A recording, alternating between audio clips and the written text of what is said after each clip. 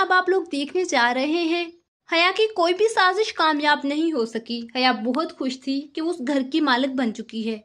मुर्तसिम अब हमेशा हमेशा के लिए उसका हो चुका है। उसकी सारी साजिशें उसके काम आ गई, लेकिन हया बिल्कुल मंजिल के करीब पहुंचकर भी मुर्तसिम को ना पा सकी। ये सदमा हया के लिए बहुत बड़ा सदमा होगा। ऊपर से अब मीरब सबके सामने बताएगी कि इस घर से जाने के लिए मुझे हया ने कहा था। हया ने ही कहा था कि मुर्तसिम से इतने दूर चली जाओ कि कभी भी मुर्तसिम को नज़र न आना। तभी मुतसिम को तुम्हारा एहसास होगा। तो मैं इसी उम्मीद पर गई थी कि शायद मुतसिम को मेरा एहसास हो। लेकिन मुझे नहीं पता था कि मैं हया के पीछे लगकर अपना ही नुकसान कर रही हूँ।